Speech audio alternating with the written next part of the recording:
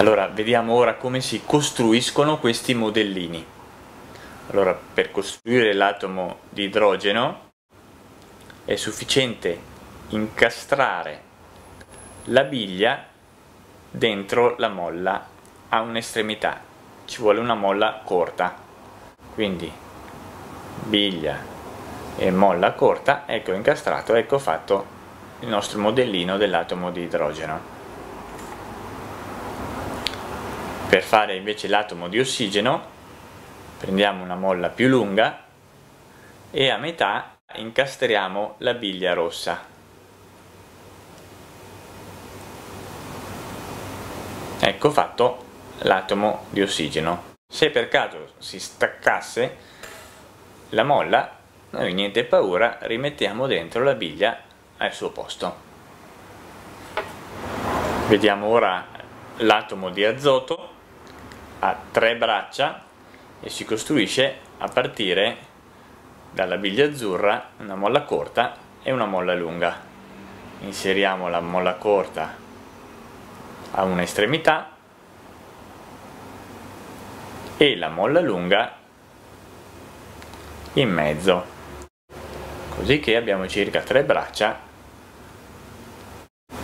cioè circa, abbiamo tre braccia e vediamo infine l'atomo di carbonio che ha quattro braccia, la biglia nera,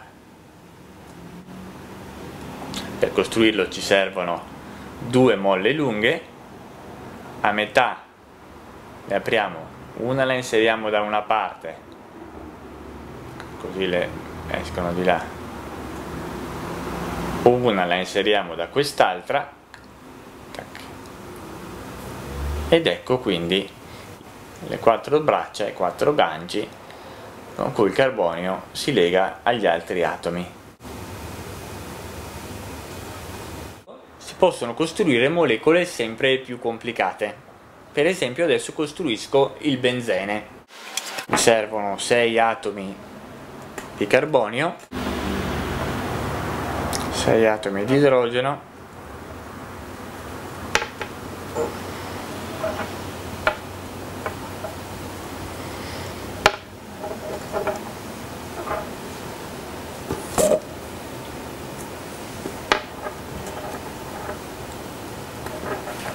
In teoria è ancora un po' più complicato di così perché questi legami si sciolgono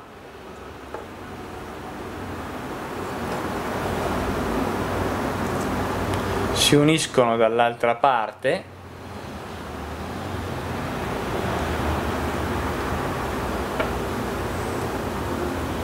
e continuano a cambiare da una configurazione all'altra. Le molecole quindi non sono statiche ma oltre a vibrare e muoversi, gli elettroni anche scorrono, cambiano, formano legami diversi. Possiamo inoltre usare questo eh, modello per mimare le reazioni chimiche. Quindi per esempio possiamo vedere l'aceto e il bicarbonato L'aceto è una soluzione di acqua e acido acetico, quindi ci sono tantissime di queste molecole e tante di queste molecole tutte mescolate, l'acqua e l'acido acetico, H2O, CH3COOH, l'acido acetico, in soluzione poi anche questi ogni tanto si staccano o così o anche così e andrà a reagire con il bicarbonato ovvero l'idrogeno carbonato di sodio. Na che è il sodio HCO3 il sodio abbiamo usato una biglia blu scuro volendo potremmo anche usare una biglia color alluminio. Se la rivestiamo l'alluminio essendo il sodio un metallo o a seconda del codice colore a seconda del codice colore che usiamo c'è chi la usa per il sodio un violetto il, il blu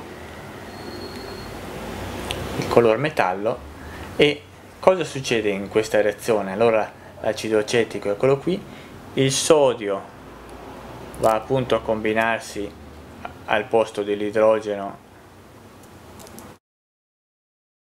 insieme con l'acido acetico e forma l'acetato di sodio mentre il bicarbonato quello che resta si forma acqua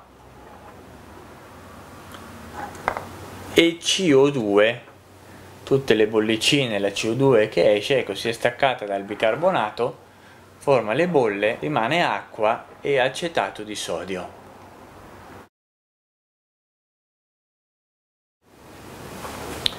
Allora si può mh, mm, fare altre reazioni come anche la fotosintesi clorofilliana nella quale acqua e CO2 vengono trasformati dalla pianta per produrre gli zuccheri e, e l'ossigeno, quindi gli zuccheri e poi anche la cellulosa, gli amidi e quindi tutte le varie sostanze hanno delle molecole e noi con queste attività si possono costruire le molecole, avvicinarsi a questo mondo degli atomi, delle molecole.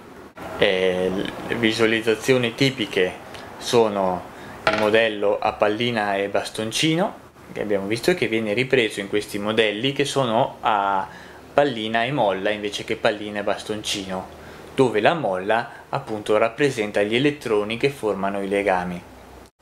Ci sono anche visualizzazioni al computer e le diverse eh, molecole eh, vengono visualizzate per esempio col modello pallina bastoncino però ci sono anche altri modelli per esempio abbiamo visto all'inizio che negli anni 60 dell'Ottocento il, chimico Loschmidt aveva elaborato un modello con dei cerchi come delle grandi bolle di sapone che rappresentavano un po' le diverse molecole e anche questo modello poi è stato ripreso nel modello che chiamiamo Space Fill in inglese o a calotta in cui eh, non vengono rappresentate i nuclei, diciamo i noccioli eh, e le linee che li congiungono, bensì viene rappresentato un po' tutto lo spazio occupato dalla molecola, quindi con delle grandi sfere che indicano un po' tutto lo spazio occupato dall'elettrone dagli elettroni, quindi dagli atomi intorno.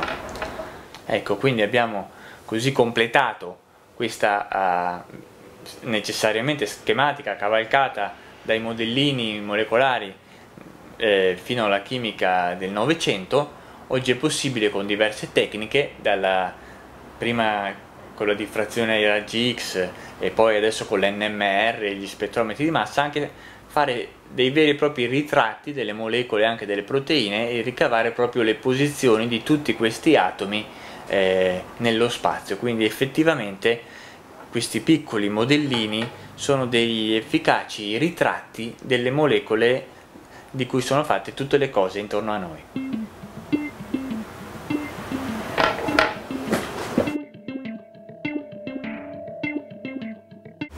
Poi più complicato di così, i chimici del tempo già se ne erano accorti perché per esempio l'azoto ha certe volte un potere combinatorio di 3, ma in altri composti ha un potere combinatorio di 5, per cui dovremmo assegnargli invece che 3 braccia 5, quindi era difficile dare anche un'interpretazione microscopica, ma come sono fatti poi questi atomi che noi al momento adesso rappresentiamo in questo modo? Cosa rappresenta la biglia? Cosa le molle? Che un colpo sono due, un colpo sono cinque? Adesso si sono annodate, quando succede che le molle si incastrano, ecco, bisogna con pazienza cercare di svitarle e non di sformarle. Quindi io per estrarla svito